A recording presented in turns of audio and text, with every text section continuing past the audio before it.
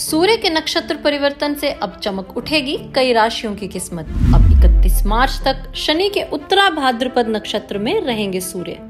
ज्योतिष के 27 नक्षत्र में इस नक्षत्र को माना जाता है बेहद महत्वपूर्ण। इस नक्षत्र में जन्म लेने वाले लोग समाज में अपनी अलग पहचान बनाते हैं और उनकी फ़ैन फॉलोइंग भी ज़बरदस्त होती है। नमस्कार, सत आदाब दोस्तों, मैं हूँ गुरमीत बेदी।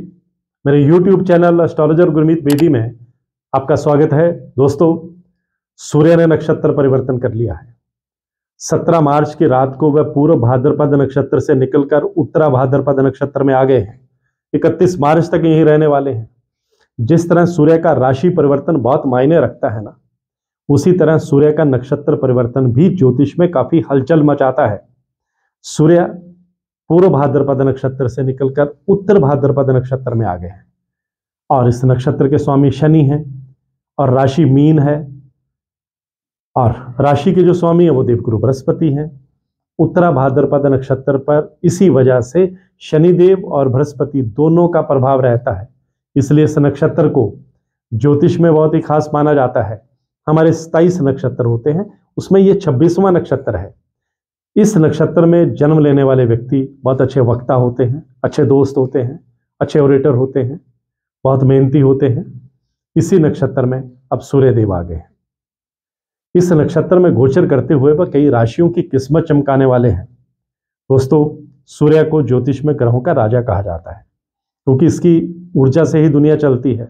यही व्यक्ति को सफलता, पराक्रम कॉन्फिडेंस देते हैं। ज्योतिष में और हमारे शास्त्रों में सूर्य को आत्मा का कारक होने के साथ साथ हमारे मान सम्मान का प्रतीक भी माना जाता है।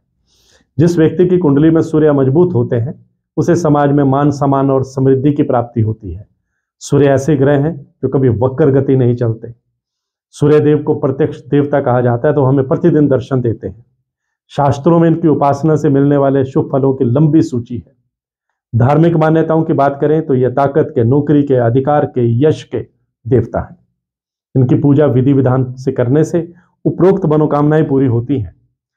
सूर्यान के नक्षत्र परिवर्तन से जिन राशियों को ज़बरदस्त लाभ होने वाला है, उनमें पहली राशि जो है, भाग्यशाली राशि जो है, वो वृषभ राशि है। वृषभ राशि के जातकों के लिए सूर्य का नक्षत्र परिवर्तन बहुत लाभकारी है।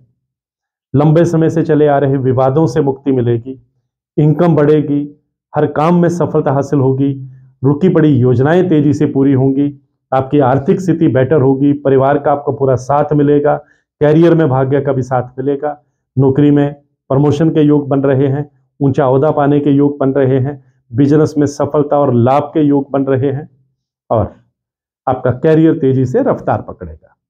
दूसरी भाग्यशाली राशि मिथुन राशि है, जो सूर्य की मित्र राशि है। सूर्य का उत्तर भाद्रपद नक्षत्र में प्रवेश करना मिथुन राशि वालों के लिए भाग्य का पूरा साथ देने वाला है। आप साहस का परिचय देंगे अध्यात्म की तरफ़ भी स्पिरिचुअलिज्म की तरफ़ भी आपका झुकाव होगा। जीवन में कोई बड़ी खुशखबरी आपको मिलेगी। नौकरी के सिलसिले में आप विदेश यात्राएँ भी हो सकती हैं और सेविंग करने में भी आप कामयाब रहेंगे। लव लाइफ भी आपकी बेहतर होगी। तीसरी भाग्यशाली राशि कन्या राशि है। कन्या राशि वालों को अप्रत्याशित धन लाभ मिल सकता है। आय के नए स्रोत बनेंगे।